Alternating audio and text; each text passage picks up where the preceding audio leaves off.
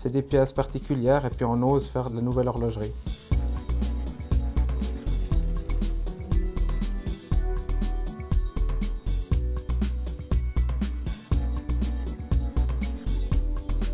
C'est une, façon de travailler et une, ambiance de travail qu'on ne retrouve pas ailleurs. Et euh, a aussi une qualité de travail aussi que je n'ai pas encore trouvée jusqu'à maintenant dans tout ce que j'ai fait.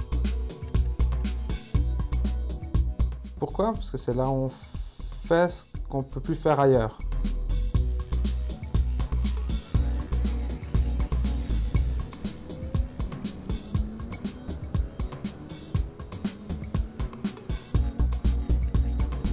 Je dirais innovateur, vraiment très créatif et surtout un sacré brin de folie.